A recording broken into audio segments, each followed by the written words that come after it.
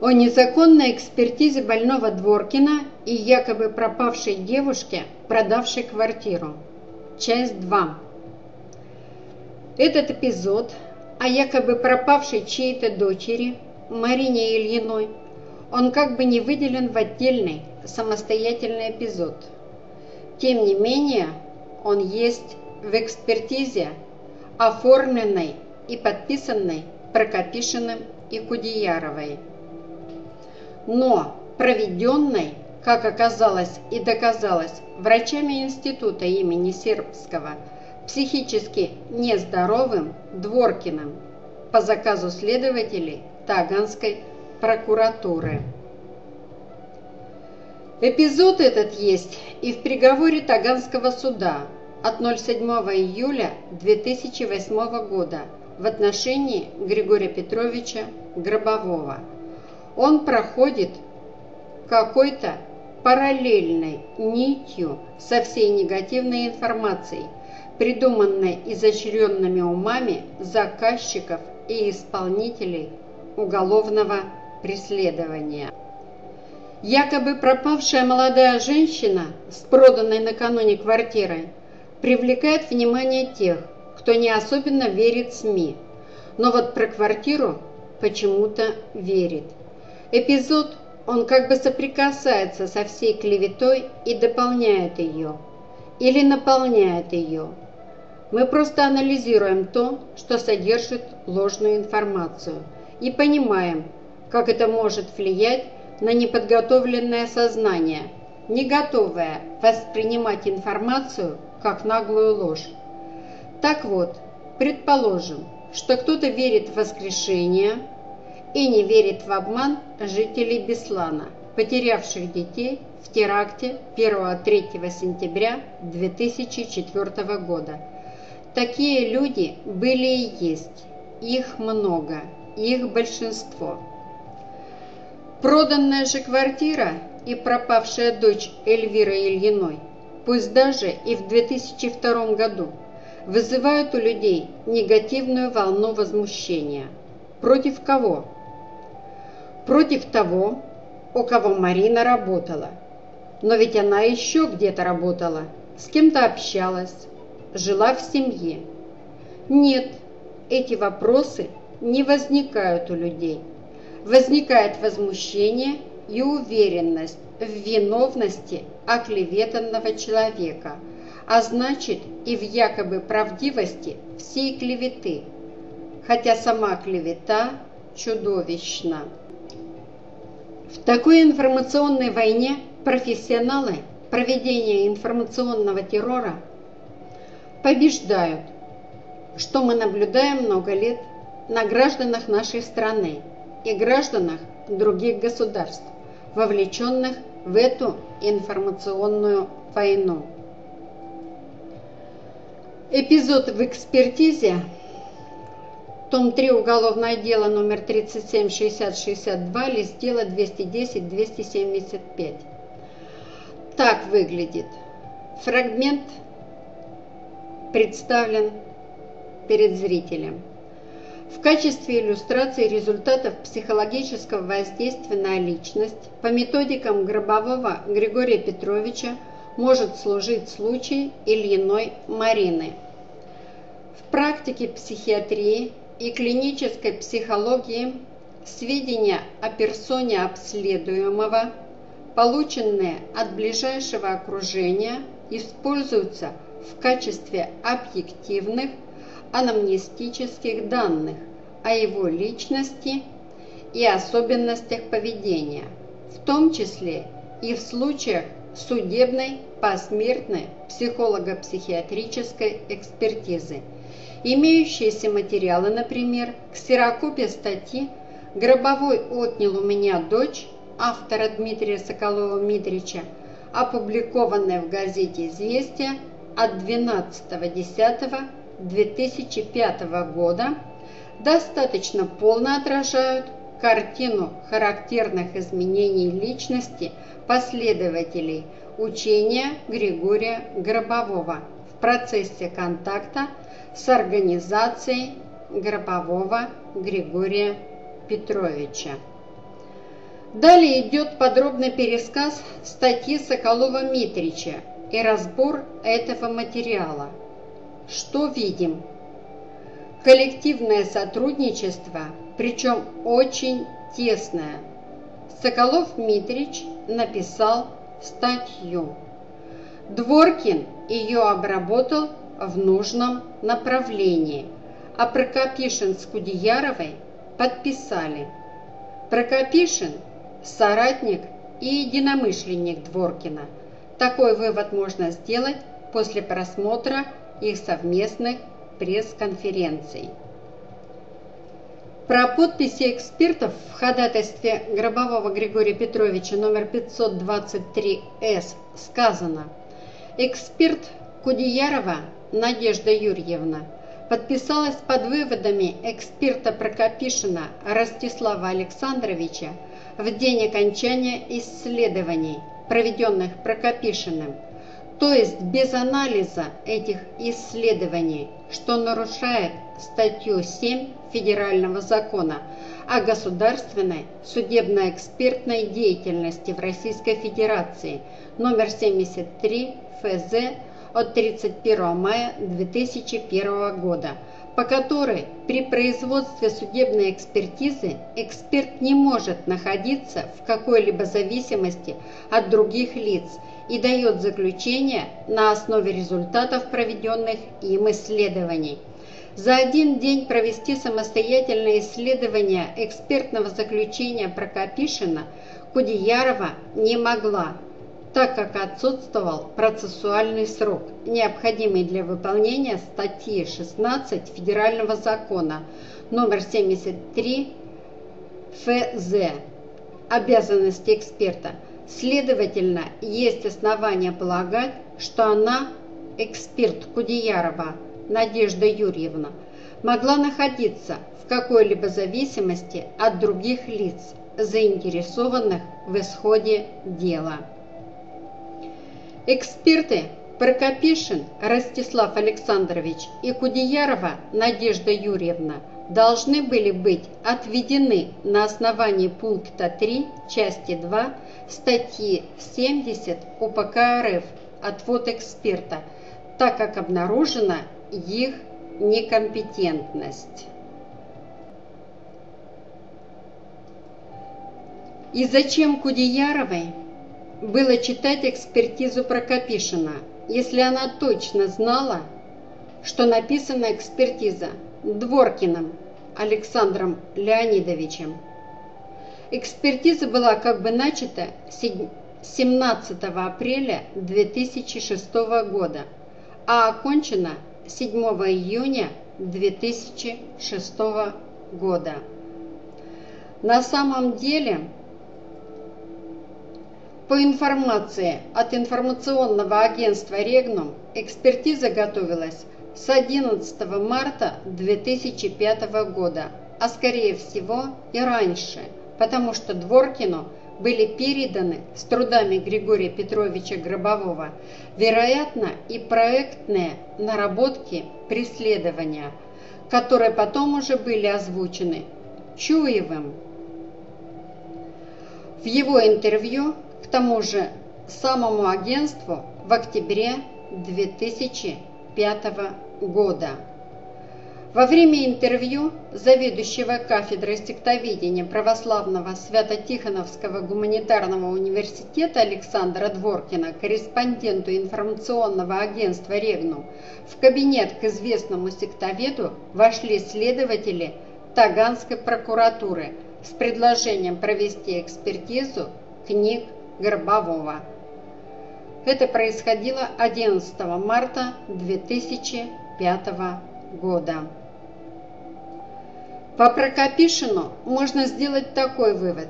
Эксперт Прокопишин был заинтересован в уголовном преследовании Гробового Григория Петровича. Поскольку свидетель защиты, назовем ее КНП, в судебном заседании 30 мая 2008 года указала на приятельские отношения Бреева и Прокопишина. Суд использовал формулировки Бреева, который в свою очередь пользовался материалами заключения комплексной социально-психологической экспертизы от 7 июня 2006 года, что юридически не может быть положено в основу обвинения, поэтому приговор подлежит отмене. Может показаться, что материал перенасыщен доказательствами. Может, конечно. С другой стороны, хотя какое-то ознакомление с материалами дела должно быть, не все же воспринимать придуманную клевету и откровенную ложь.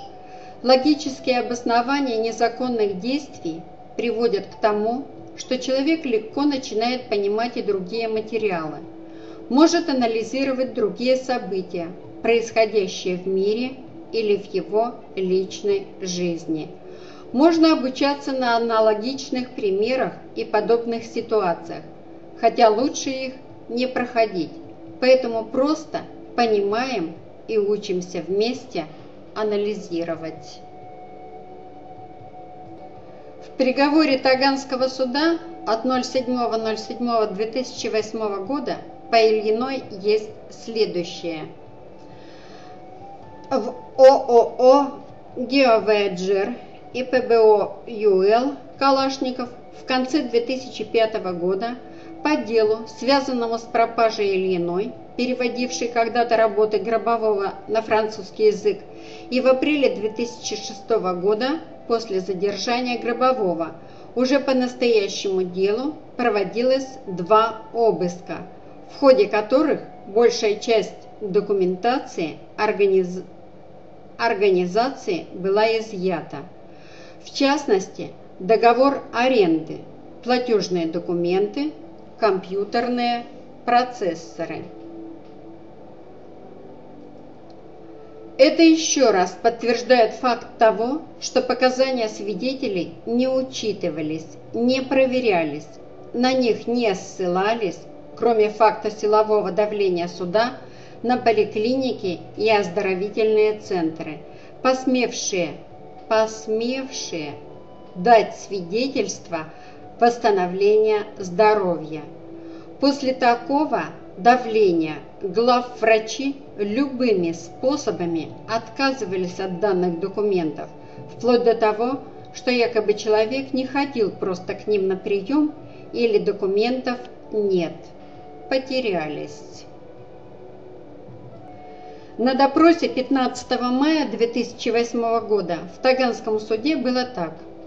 Свидетель о ней и ее судьбе я слышала в коридорах прокуратуры, что Марину Ильину нашли в Сибири.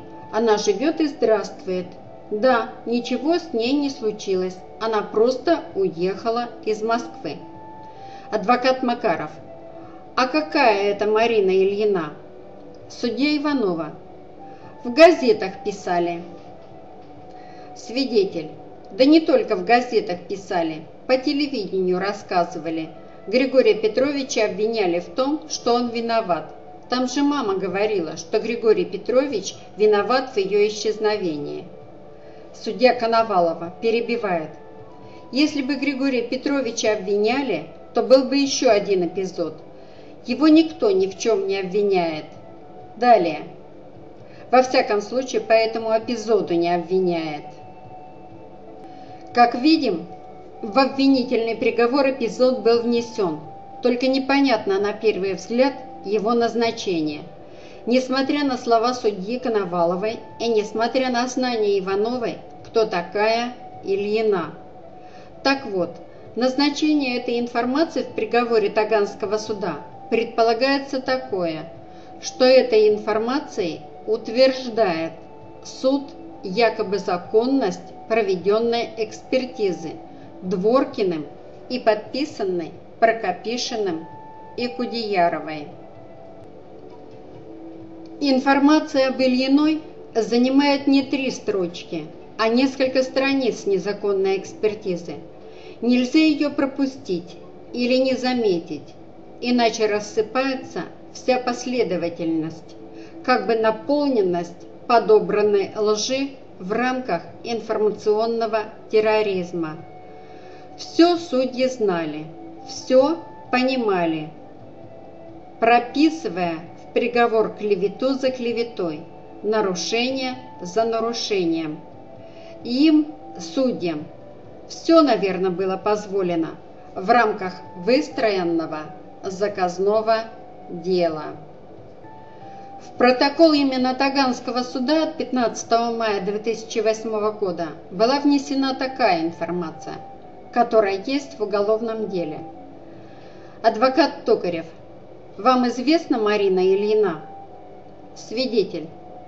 Лично не знакома, но я знаю, что ее нашли в Сибири, где она живет и здравствует, а Григория Петровича обвиняли в ее исчезновении. Информация сохранилась. Если она есть, значит будет востребована и получит дальнейшее оправдательное развитие для всех. Хотя, в принципе, она уже озвучена в оправдательном направлении и по закону всеобщих связей развивается. Накануне теракта в Нальчике, то есть 12 октября 2005 года, было вброшено в информационное пространство не только России, стран СНГ, но и европейских стран. Такое количество негативной информации про гробового Григория Петровича, что из-за такого вброса можно было предположить действительно какое-то очень серьезное событие, чем и явился теракт в Нальчике 13-14 октября 2005 года, о котором был дан прогноз Григорием Гробовым. Любой пользователь интернета может в любое время проверить этот информационный поток или шквал клеветы и откровенного вранья. Не побоимся этого слова.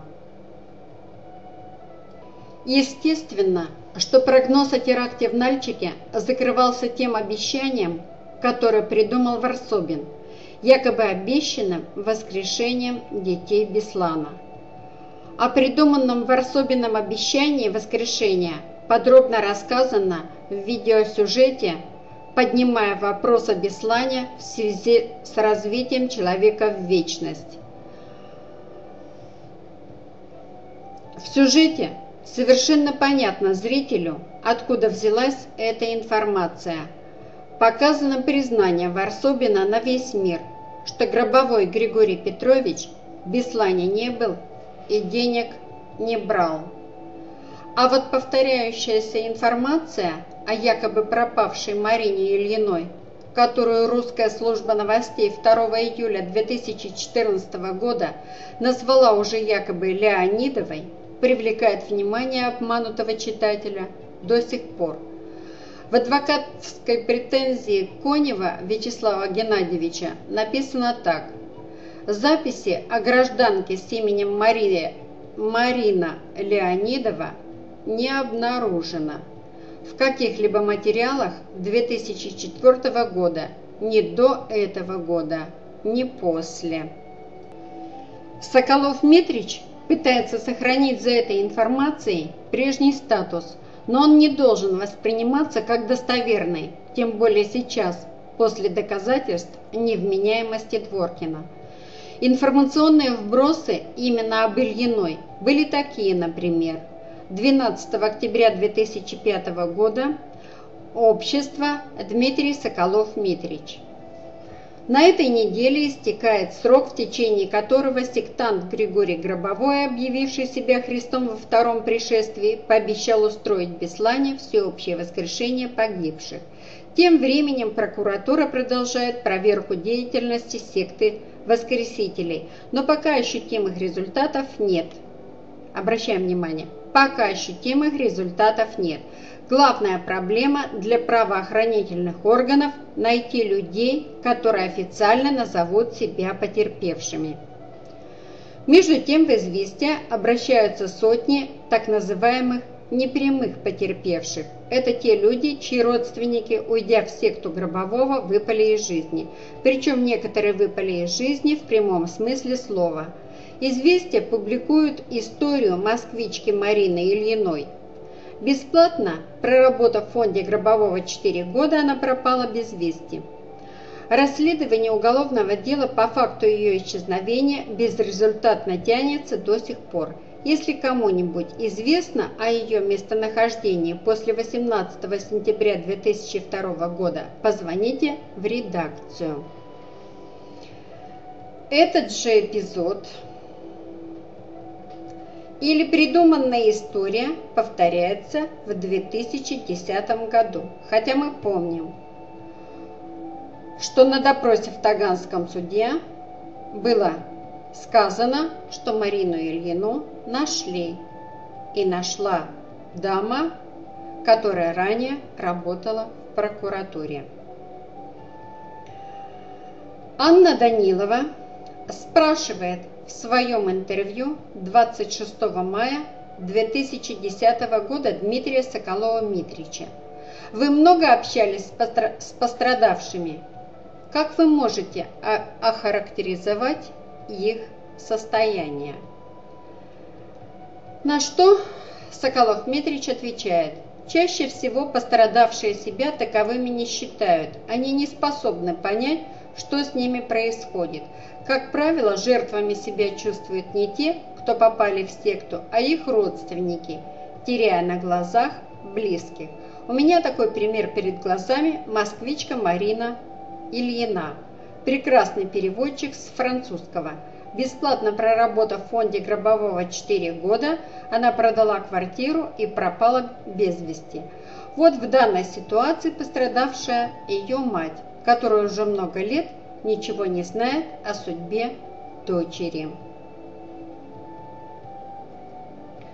Короткий вариант версии такой. Исчезнувшие. Не знаем, как насчет воскрешения, но вот обратный процесс исчезновения людей, связанных с гробовым, уже замечен. Переводчик Марина Ильина бесследно исчезла 4 года сотрудничества через 4 года сотрудничества с фондом Гробового. Расследование до сих пор ни к чему не привело, и поиском Марины в основном занимается ее мама Эльвира Львовна – Марина пропала через шесть дней после того, как продала двухкомнатную квартиру. Этот вариант был вброшен во все информационное пространство, печатные издания, электронные издания, блогосферу, сайты, форумы и все, что можно придумать. Клевету оставим адвокатам и оправдательному суду. Обратим внимание только на то, что и подтверждал Варсобин в открытой студии канала ТВ-5 с телеведущей Никой Стрижак 27 мая 2010 года, хотя тут же противоречил сам себе, заявляя, что много есть эпизодов по обвинению Григория Петровича Гробового. Так были ли эпизоды? Что пишет тот же Соколов Митрич а он пишет так в тексте его статьи. Пока ощутимых результатов нет. Главная проблема для правоохранительных органов – найти людей, которые официально назовут себя потерпевшими. Не было осенью 2005 года результатов, не было потерпевших, кроме Ворособина – да и тот был не потерпевшим, а исполнителем чьей-то сатанинской воли. Не было желающих клеветать, лгать, оговаривать.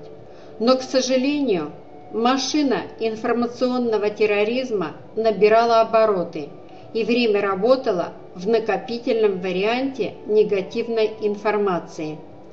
В статье дважды повторяется «результатов нет» но каждый видит то, что хочет видеть, или его заставляют видеть только искаженную информацию. Однажды в центре Москвы в июле 2007 года на митинге с требованием рассказать российским, российскому народу о стопроцентной подтверждаемости прогнозов Гробового Григория Петровича к нам подошла женщина средних лет с откровенным возмущением против совершаемых нами действий. Мы стояли с плакатами в Новопушкинском сквере. так вот, дама возмущалась тем, что продают люди квартиры, и потом эти люди пропадают, а мы тут, не понимающие, с плакатами стоим. Пришлось поинтересоваться, что имеется в виду. Оказалось, что дама работает или работала с Эльвирой Ильиной, матерью якобы пропавшей Марины Ильиной. Рассказали ей историю, которую получили через третьи руки. Человек не хотел светиться, далее понятно почему. Марину нашла бывшая сотрудница прокуратуры, потому что ей очень хотелось помочь Григорию Петровичу. Дочь Ильиной нашлась в Сибири. Она не терялась, она просто уехала навсегда от матери, с которой были серьезные разногласия. История этой 12 лет, но и сейчас не хочется озвучивать ту грязь, которая навсегда развела мать и дочь. Это право Марины, это ее выбор. Если она не хочет, чтобы о ней кто-то знал, значит не надо настаивать на этом. А что делают СМИ, в частности, русская служба новостей? Они снова повторяют историю, изменив фамилию. Но ведь история все та же самая. Факт поиска и нахождения Марины был предъявлен Таганскому суду 15 мая 2008 года, но зафиксирован почему-то очень обтекаемо в протоколе. Почему обтекаемо? Потому что надо было изымать тогда этот эпизод из КСПЭ, а это значит, что сама экспертиза вызывала бы сомнения. Любое нарушение должно было трактоваться в пользу обвиняемого по делу номер 37-6062 в отношении Григория Петровича Гробового. Так в правовом государстве при соблюдении законов делается. Сегодня сведения о якобы пропавшей девушке с интересом были выслушаны.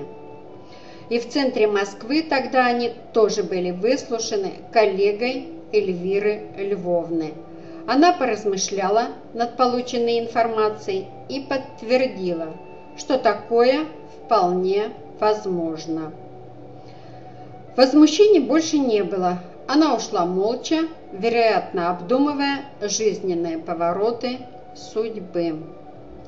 Зомбирование людей всеми средствами массовой информации не приносит людям радость и мир в душе – Клевета и ложь разрушают неустойчивое и неподготовленное к таким жестким испытаниям сознание. Любые оправдания, даже по незаконному приговору, требуют тщательной, спокойной аналитической работы, основанной на логических выводах, законах развития информации, социальных законах и юридических – положенных в основу законодательства той страны, в которой происходит сам процесс. Оправдательный приговор Григорию Гробовому восстановит мир во многих душах, раздерганных информационным терроризмом, потому что вечность все равно проливает свой свет на землю.